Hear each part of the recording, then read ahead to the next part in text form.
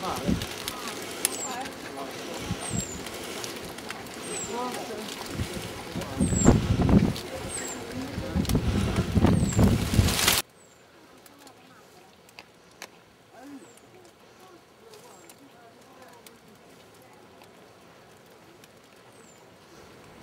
I can say is that's one fucking big spider.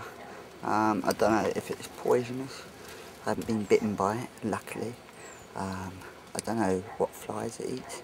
Whether it's big fuck off flies or lots and lots and lots of little flies. All I know is that's one motherfucking big spider. And to be honest, I'd keep far away from it. It's bright yellow and black. And um, it looks like uh, it means business.